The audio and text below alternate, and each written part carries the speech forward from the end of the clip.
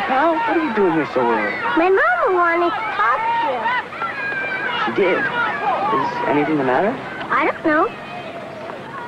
Hmm, Well, let's go see.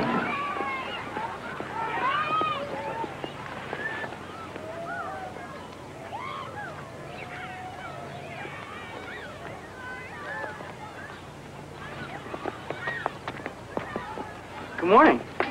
Good morning. Sweetheart, Mommy would like to talk to Peter alone. So could you go in the clubhouse and change? Okay, see you later, Peter. Bye. Have, uh... Have I done something wrong, Mrs. Ewing? No. Why? Oh, I know. It's because I asked to speak to you alone. It's, um, a personal matter. Do you mind? Heck no, I'm glad I just didn't do anything to get you mad. Peter, do you know about the oil barons ball?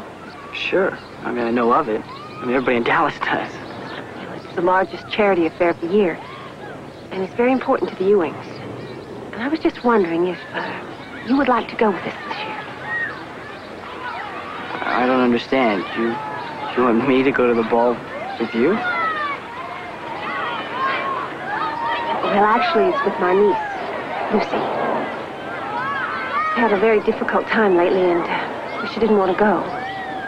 I promised her very charming escort. She agreed. Well, I don't know. I mean, I've never met her or anything. She's a very sweet and beautiful young lady. Peter, I would never take advantage of our friendship, but I had hoped that uh, if I asked you, you would agree to take her. Well, I mean, for you, sure. But I wouldn't know anybody there, and I think I'll really be out of place. No, you won't. No, we'll all be sitting together. If there are any rough spots, I'll be right next to you to smooth them over. Besides, uh, I really can't think of a place that you wouldn't fit in just perfectly. I don't.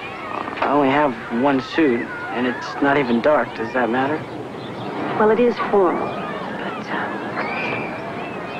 here's the address of my husband's tailor.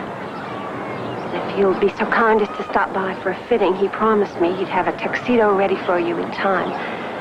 Uh, I told him to expect you.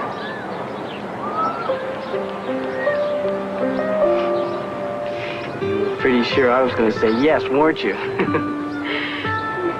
I just uh, thought you'd understand the problem. I do owe you a favor. so you do. Well, here's the oil barons ball.